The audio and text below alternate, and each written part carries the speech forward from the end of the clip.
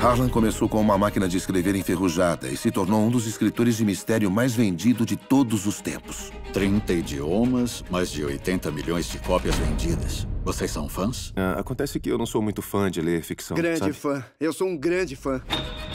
Quem é esse cara? Sr. Blank é um detetive particular bem conhecido. Eu li um tweet sobre um artigo da New Yorker sobre você. Você é famoso! Na noite do falecimento, a família se reuniu para comemorar o aniversário de 85 anos do seu pai? E o seu filho Ransom também compareceu? Sim, mas foi embora mais cedo. Acho que a Linda ficou chateada. Walt bebia e ficava corajoso. E discutia com Harlan. O quê? O que Richard falou? Está me testando, detetive? Buscamos os detalhes para entender como ele morreu. Quer dizer que alguém matou ele. E acha que um de nós, alguém da família, matou ele. Senhor Blank, acabei de enterrar meu pai que se suicidou. Por que está aqui?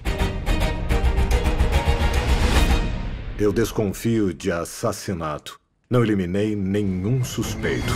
Do diretor de Star Wars, Os Últimos Jedi. Harlan estava limpando a casa. Todos na família têm possíveis motivos. Harlan planejava cortar o dinheiro da Johnny. Ele planejou demitir Walter. O Richard estava tendo um caso. É uma suposição bem profunda. Engraçado, Ransom. Você não foi no funeral, mas chegou cedo na leitura do testamento. Vai se ferrar. Ótimo isso. Ransom, Tira esse sorrisinho para com isso, merdinha. Nós precisamos fazer isso mais vezes. A família está desesperada. Quando as pessoas ficam desesperadas, é aí que mostram as facas. Essa teia está embaraçada. E ainda não acabamos de desembaraçá-la. Ainda não. Em dezembro, Tô esperando a grande revelação.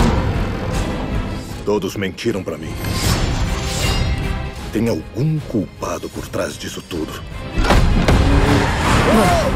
Você sabe de alguma coisa? Fala! Ai, meu Deus. Fala o que aconteceu com meu avô. Acho que você quer me falar alguma coisa. Entre Facas e Segredos. Somente nos cinemas. Hey, it's Lisa here. Did you know that the first picture to sweep all five major Academy Awards, winning for Best Picture, Best Actor, Best Actress, Best Director, and Best Screenplay, was Frank Capra's It Happened One Night from 1934? The second movie to do the same was One Flew Over the Cuckoo Nest from 1975. Do you like my t shirt? You can get one for yourself in the description below.